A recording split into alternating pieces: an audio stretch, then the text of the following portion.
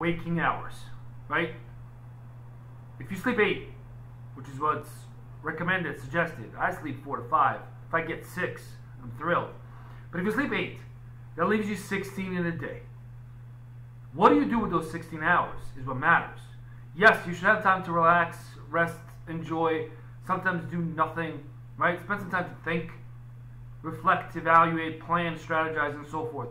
But if you have massive, obnoxious goals, as I often like to call them, you have to make sure you maximize those 16 hours every single day, right? While remaining patient long term. Because some of those goals, if they really are massive, might take a decade to accomplish.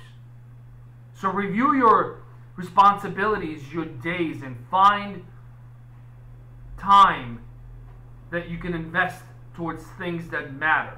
I'm not talking about business, money, career, company, could be family, could be kids, could be traveling, could be whatever it is that you love to do, enjoy to do.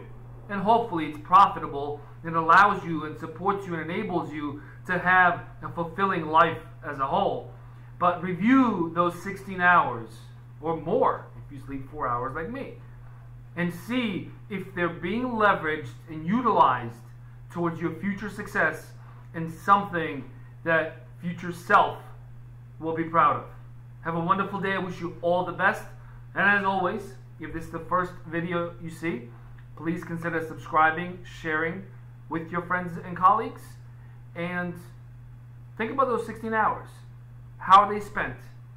And do they help you get closer to where you really, truly believe you belong?